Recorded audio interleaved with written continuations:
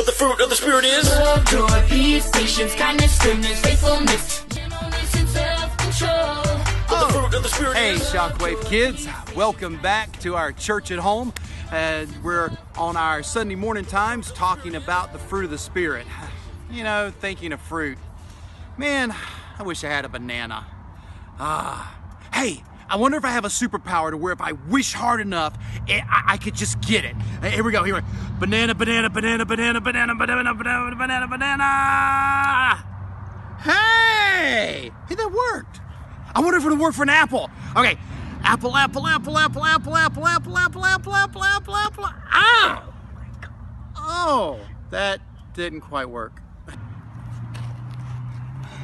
You know, no matter how much you want a piece of fruit, you can't just want it bad enough and it just suddenly appear.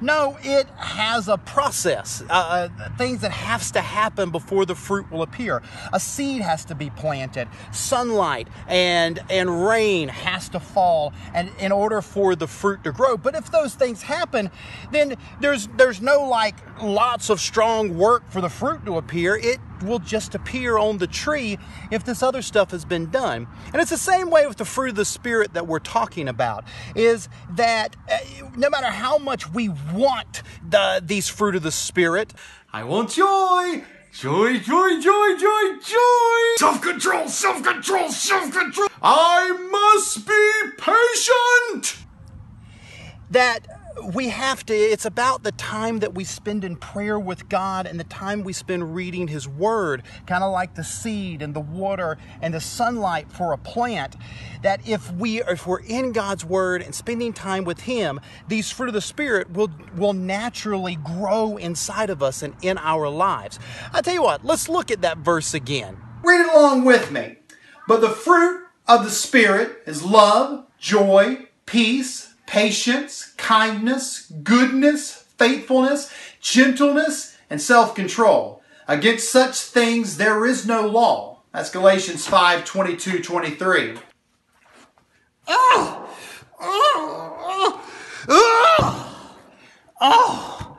Hey, Shockwave kids, rocks can be really heavy, and man, they're a drag to carry around. You know, it's kind of like the stuff we can carry around sometimes on the inside. Things like bitterness, what they did to me!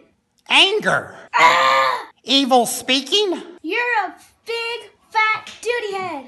malice, When I get my hands on them, and wrath. I will destroy them! You know, we, we sometimes we, we try to act good on the outside. We, we try to do what we're supposed to do, but we have this stuff on the inside like a rock that's weighing us down. But you know what? I'm going to soften this baby up here. I'm tired of this heavy rock in my life. I'm going to turn on the molecular photon gun, the MPG. See, this reminds me of what God wants to do on the inside of us. See, He promises us that in Ezekiel 36 26, I will give you a new heart and put a new spirit in you. I will remove from you your heart of stone and give you a heart of flesh. See, God doesn't want us to just act good on the outside. He wants to come and live inside of us and fill us up with this fruit of the Spirit until we're just overflowing onto everybody around us. I want us to get up and do something. See, we're talking today about gentleness and kindness, being gentle and kind, and ultimately how it's God that has to change us on the outside. But, you know, we have to put legs on our prayers. Sometimes we got to actually do it and do what what what we're praying about. And so what I want you to do is to get up and find somebody to tell them something that you think is really amazing about them. Say some kind words to somebody. If you got a group there, go around taking one at a time, everybody telling something that you like about the person. Or if you don't have somebody with you, then get up and go find somebody somebody around you and tell them, "Hey, I just want to tell you, you are really amazing because." And fill it in. But I'll wait for you right here. You can pause the video. You know, it's really awesome whenever we are kind to other people. In fact, these fruit of the Spirit, they're all connected with each other. And if you find yourself, for example, not having joy in your heart like you would like, um, if you start doing things like being kind to other people, you'll find joy starting to spring up inside of you. A lot of times people think that being gentle is being weak. But it's the total opposite. See, you can't be gentle unless you're really strong. Think of it this way if you have a really big dog and a little puppy, you don't tell the little puppy, okay, be gentle, be gentle with the big dog. No, you're not worried about the little puppy hurting the big dog because he's too weak. But the big dog, oh, you're worried about the big dog hurting the little puppy. So you're like, okay, okay, be gentle, be gentle with the little puppy. See, in order to be gentle, we first have to be really strong and powerful enough to hurt something or somebody. And see, that's what God wants with this fruit of the Spirit. He wants us to be powerful and His power flowing inside of us. But at the same time, He wants us to learn how to use that power to help other people. Hello?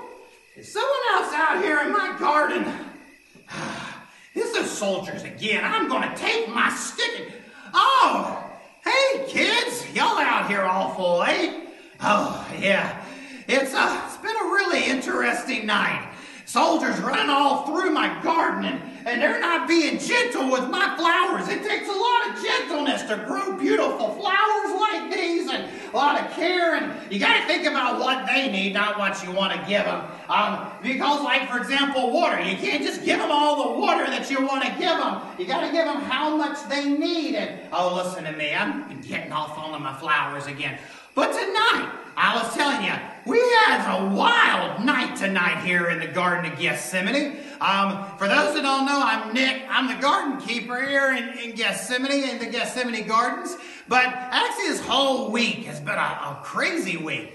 Well, it usually is this time of year. See, it's Passover week, special festival in these parts that celebrates uh, going back to the Israelites coming out of Egypt and the death angel passing over and all that. But uh, everybody was coming into town at the beginning of the week, and um, Yeshua and his disciples, you could hear the crowd as they came into town over on the other side of town. You could hear it all across town as, as they were they were singing out, Hosanna! Save us! Save us! It was quite a commotion, and I heard he rode in on a donkey. Weirdest thing.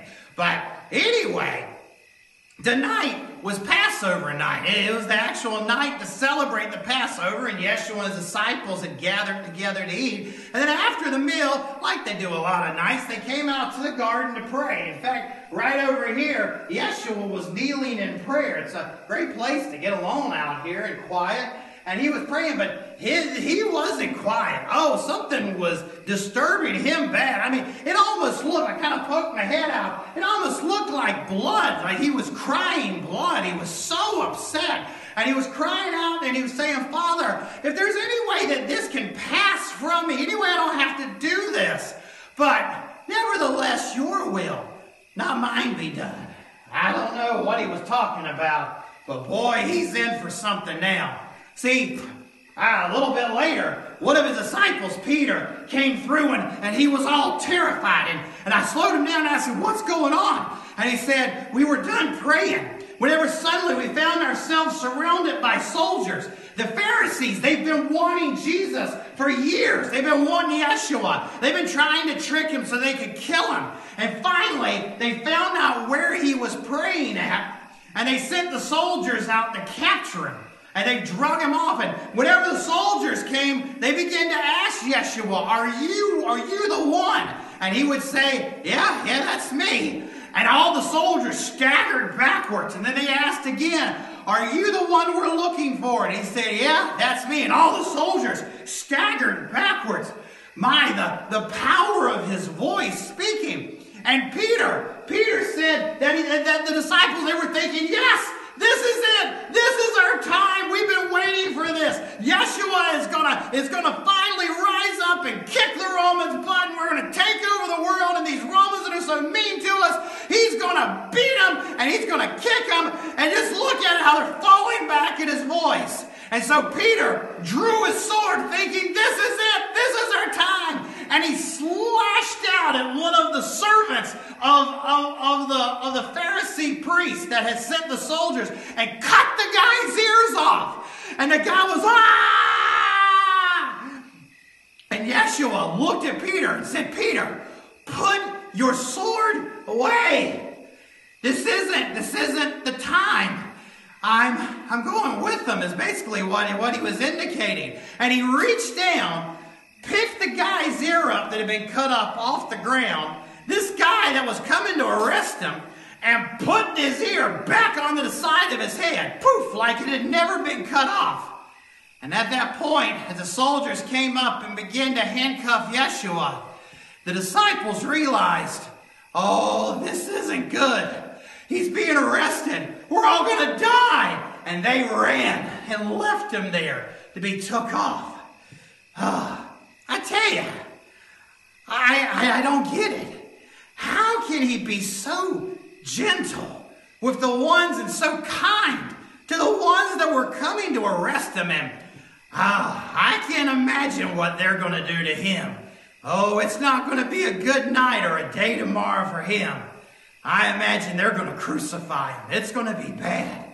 And surely he had to know that was coming. But yet, he was so kind and so gentle to pick the guy's ear up and stick it back on. Use one of his miracles to fix the guy's ear. Can't imagine that kind of gentleness. But anyway, I imagine we'll be hearing more about what happens to Yeshua. But for now, I gotta get some sleep. It's late. Y'all have a good night. Oh. You know, it amazes me the power that we see that Jesus has in the story of his arrest because the soldiers can't even come close to him. He speaks and they stagger backward. He is the one that chose to be arrested, he's the one that chose to be put on the cross for us. And so we come to the end of our time today, and I just want to remind you that God wants to help you to be powerful, but in the power that He wants to give you, He wants you to be gentle to other people. And so, whenever you find yourself feeling like,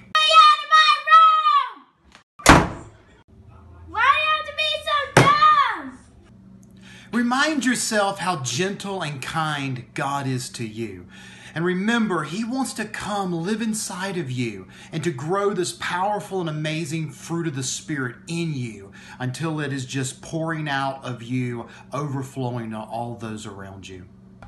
Tell you what, if you have enjoyed this time together today, if you would like and share it so it can spread to other people. Also, if you don't have anybody that's doing this with you, an adult, go grab them. Say, hey, come look on gcogkids.com and you can find some additional ideas for devotional activities, some fun things to do together.